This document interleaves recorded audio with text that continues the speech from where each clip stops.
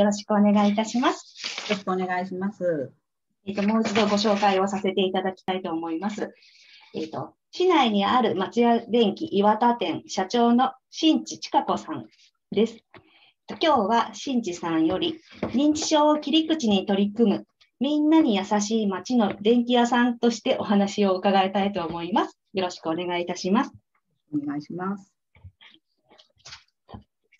じめに少しこちらの方から説明をさせていただきます。先ほども少しお話をさせていただいたんですけれども、令和元年6月に認知症施策推進大綱が打ち出され、取り組みの一つに認知症サポーター、特に企業における受講を進めることが謳われました。豊橋市では令和元年度までに企業における認知症サポーター講座を延べ362企業、1万631名に実施しております。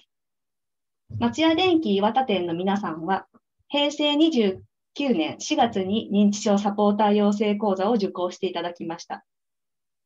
さらに、愛知県が企業向けに実施している認知症の人に優しい企業サポーターワンアクション研修を令和2年1月に豊橋の企業として初めて受講されました。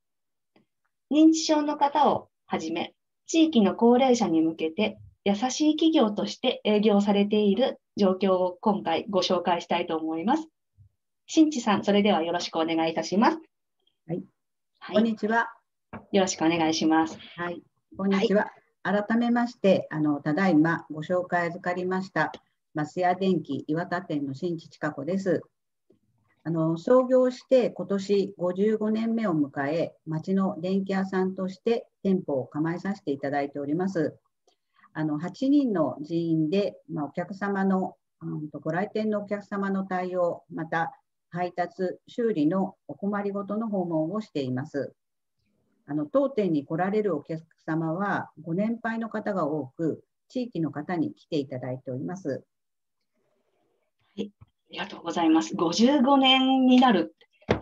かなりね、あの、はい、昔からの老舗というか、あの、地域に根付いた店舗だと思います。すごいですね。やっぱりご高齢のお客様が多いってことなんですね。はい、えっ、ー、と、私も電気屋さんに行くと、なかなかうまく商品が探せないなっていうことがあるんですけれども、特にご高齢の方だと、中には店内でうまく商品探せないとかって困ってる方もいるんではないかなと思うんですけど、どうでしょうか？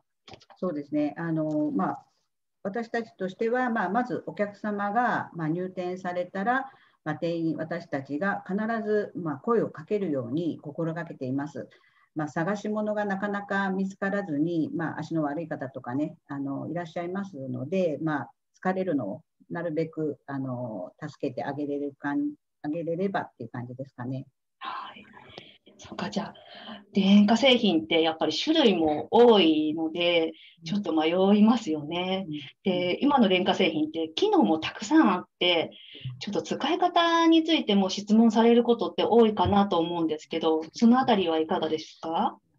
そうなんです。あの、認知症の方に限らず、あのご高齢の方に操作が難しい製品が今は多くなりました。あの製造企業側にも伝えているんですけどね、あの店頭では、まあ、できるだけボタンの少ない商品をお勧めしています。でもあの店で見て、まあ、納得して購入しても持って帰ると、まあ、できなくなってしまうっていう高齢者も少なくはありません。そういったお困りごとにはどういうふうに対応されてます、うんまあ、電話だけではあの混乱することも多いため、まあ、できるだけお宅に訪問し、あの顔を見て、まあ、説明することを心がけています。また、あの洗濯機やあの炊飯器にはあの日頃使うボタンにあの、まあ、番号、まあ、シールに、まあ、番号を書いて、まあ、順番に押せばできるように工夫をしています。シールに番号を振っていただけるなんて、すごいありがたいサービスですね。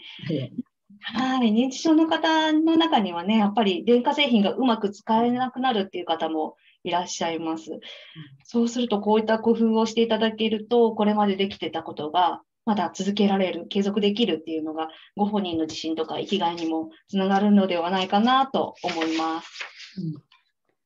そうですね、あのご高齢の、まあ、お客様の中には、まあ、認知症が認知症かどうかはっきりしないので、まあ、そうかなと思う方もいらっしゃいます。まあ、例えばあの DVD クリーナーを買いに来る男性がいらっしゃいます。あの本来、まあ、使用時は1滴垂らせば良いので、まあ、すぐになくなるものではないのですが、どうしてもたくさん使いすぎてしまうご様子で、まあ、何度もご購入されていました。あのこちらとしてはあの騙して売りつけているようで、まあ、心が痛む思いでした。その方の場合はどういうふうに対応され対応されました、うん、あのご家族に、まあ、DVD クリーナーの使い方を説明し、まあ、必要以上に購入されているのではと、まあ、こちら側の心配もお話ししました。最後はあのご本人の満足も合わせて奥様より引き続き購入することで差し支えないとのことになりました。そうなんですね。あの今聞いていてちょっとね、あの売りつけているようで騙して売りつけているようで両親が痛むっていう言葉が、あここの町田電機さんだから出る言葉なのかなと思ったんですけれども地域の高齢者の方に対して大変丁寧に対応されているなとすごく感じました。その中で認知症について学ぼうと考えたきっかけっていうのは何かありましたか？まあ、実際今ご年配の方の、まあ、ご来店が多くなったっていうことが、まあ、私たちの対応が本当にこれでいいのかなどうなのかなっていう、まあ、不安に思うことが多くあったので、まあ、今回受あの受講をさせていただきました。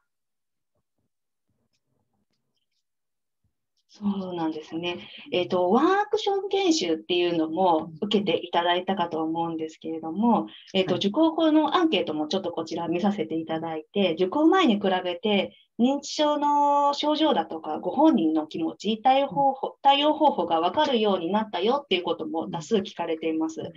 で、あと、認知症の方が安心して買い物できるお店だよっていうのも広めたいと学んだことを実践の場でも活かしたいっていう前向きな意見もすごく書いてありました。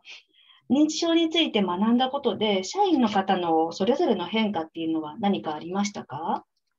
そうですねあのお客様とのやり取りの中で、まあ、何か変だなとかあの心配だなっていう発想の中に、まあ、認知症を、まあ、頭に浮かべれるようになったことが、まあ、一番大きな変化かなと思います。ある商品について、まあ、何度も電話でお問い合わせをいただいたお客様がいたんですが、あのお宅にまあ何度も疑あの伺って、まあ、もしかしたら認知症かなとの発想から、ご家族と連絡を取りました。あのご家族は、まあ、このやり取りを知らず、まあ、連絡にびっくりされたともに、もし、まあ、連絡があったら家族に連絡を入れてほしいとのことで、まあ、対応することとなりました。そうなんですね。家族の方に連絡を取るっていうのは、多分普通のおみ、普通のっていうと失礼かもしれないですけど、町屋電機さんだからできたのかなと思うんですけれども、やっぱりご家族だとか、あと、介護、もし介護を受けていれば、ヘルパーさんだったり、ケアマネさんだったり、介護職もなかなか日頃の様子をね、全部すべて把握するっていうのは難しいと思うんですけれども、日頃接するお店でこうやってキャッチされた情報をね、教えていただけるっていうのは大変ありがたいことだと思いますし、認知症の方が住み慣れた場所でできるだけ暮らしていくための大きなサポーターだなっていうことを感じました。お客様ごとにま対応が変わるので、まあ、これでいいのかなと、まあ、こちら側を迷うことが多くあります。まあ、ぜひあの専門職の皆様とともに、まあ、あの相談できる間柄になれると嬉しいです。はい、私たちもぜひ、あの、サポーターとしてこれからも助けていただきたいと思います。よろしくお願いします。それでは最後に認知症のご本人やご家族、またそれを取り巻く方など、本日参加されている方に対してメッセージがありましたらお願いします。はい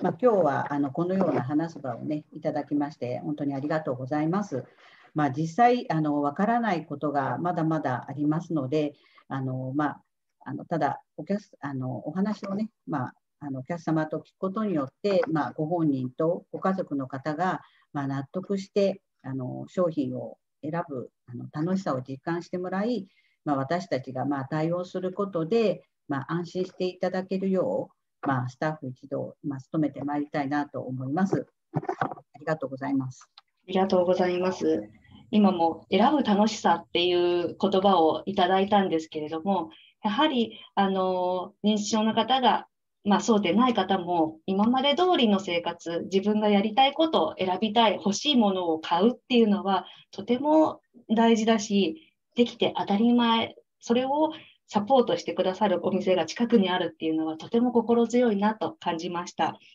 はい。それでは、新地さんへのインタビューは一度これで終わらせていただくんですけれども、何か質問だとかありましたら、チャット、または会場の方は紙に書いていただいていただければと思います。お時間の方はまだありますので、ぜひ積極的にあのいただければと思いますし、新地さんも何か付け加えることがありましたら、ぜひご紹介ください。よろしくお願いします。皆様、いかがでしょうか？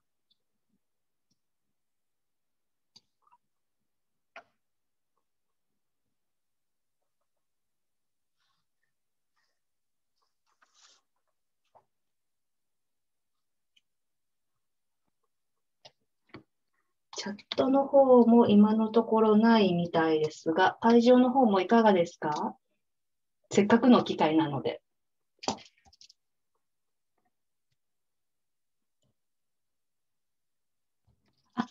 会場から、はい、上がったようなので、ちょっと書いていただくのを待ちたいと思います。はい。ちょっとじゃあその間に私からも一つ、あの、さらっと言われてたんですけど、訪問して、お家にお伺いしてっていうことを言われてたんですけど、多分、まあ、いわゆる普通の電気屋さんだと、まあ、設置に行くっていう訪問はあると思うんですけど、それ以外でも訪問をされてるってことですかね？まあ、何かあの、まあ、リモコンの使い方がわからないとか、まあ、電球が取り替えができないとか、まあ、そういったところで、まあまあ、訪問をします。うん、はい、そこもすごくありがたいサービスだと思います。あのやっぱり高齢の方になると電気を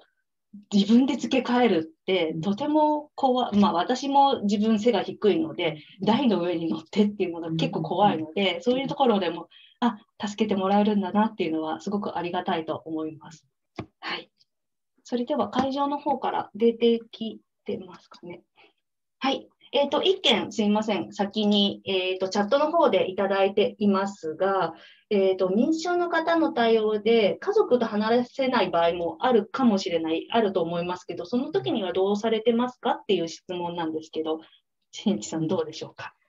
そうですね。あの、まあ、そういう方もあの中には見えてどうしたらいいのかなっていうのはもう頭にありましたけども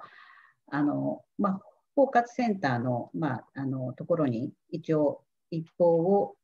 入れさせていただきました。ちょっとどうやって対応したらいいかわからなかったので、まあ、まずはそこしかないかなっていうことですね。はい、はい、あの包括支援センターに関わる職員として大変ありがたいお言葉をいただいたんですけど、はいあのまあ、すぐにね、あの、行けるとか、何か解決方法が見つかるっていうわけではないと思うんですけど、まずお知らせいただけるとありがたいです。あの、私たちも一緒に考えていきたいと思います。よろしくお願いします。はい。それでは、えっ、ー、と、今、一件会場の方から質問が上がっています。えっ、ー、と、訪問をされるときに気をつけていることなどがあったら教えてほしいっていうことなんですけれども、うん、気をつける。気をつける。認知症の方の訪問とかでどうされていますか、はい、気をつけることはあったら教えてくださいっていうことなんですけど、はい、何かありますか？まずはあの話を聞くの聞くっていう、まあ、どういう何を求めているのかとか何で困ってるのか、まあ、まずはちょっと話を聞くことからっていうところですかね。うん、であんまりこちらからいろいろ話をしちゃうとわからないことも多くなるので、まあ、まずは何が困ってる等を少し順番にやっていくっていう感じですね。まあ、いろいろ話をしないっていうところかなと思います。ありがとうございます。そうするとやっぱり一件一件あたり時間が長くなってしまうこととかも正直ありますかね？まあ、それはありますね。だからそこの切り替えはやっぱり難しいです。はい、はい、でも話を聞いていただけるっていうのと困っていることを一緒に考えてくださるっていうのはとても心強いと思います。ありがとうございます。はい。それでは他に質問だとかありますか？大丈夫でしょうか？はい。えっ、ー、と、ズームで参加していただいている方も大丈夫でしょうか？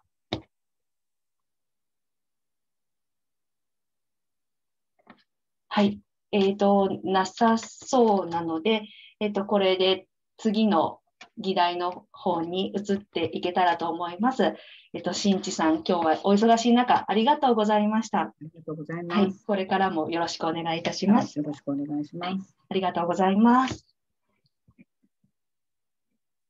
それでは